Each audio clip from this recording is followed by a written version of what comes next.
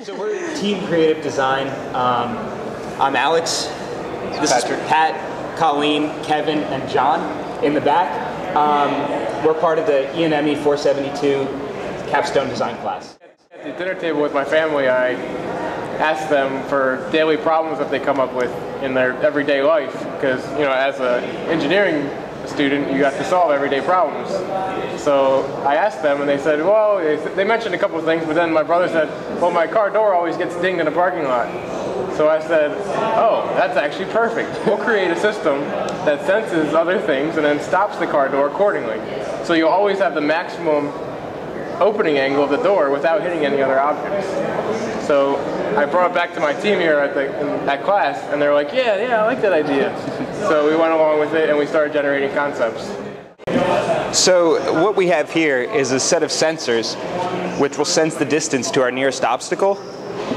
And as this senses, it sends a signal over to our mechanism in the other side of the door to, to lock our gear wheels on our detent bar. And what that does, the friction on that prevents the door from opening any further. So now it's at the maximum position that it can open and we're not hitting our obstacle. So your car is left intact and your neighboring car is left intact. The sensor is simply connected with an electrical, uh, just, just a simple circuit here that connects into our, uh, we have a microcontroller over here that does some simple um, simple logic.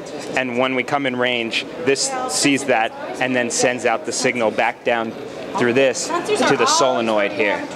And that's the solenoid which which gives us a back and forth motion here.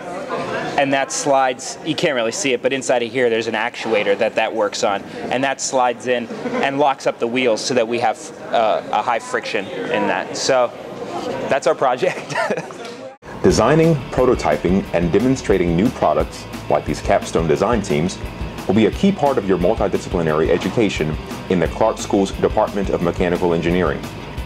Guided by leading faculty members, you'll explore wide-ranging products, systems, and materials, and devise ways to make them more efficient, user-friendly, and sustainable. Our students typically graduate in four years and go on to work with some of the world's top engineering organizations. To learn more about the Clark School's Department of Mechanical Engineering, visit our website and contact Meredith DeMoss, Undergraduate Recruitment.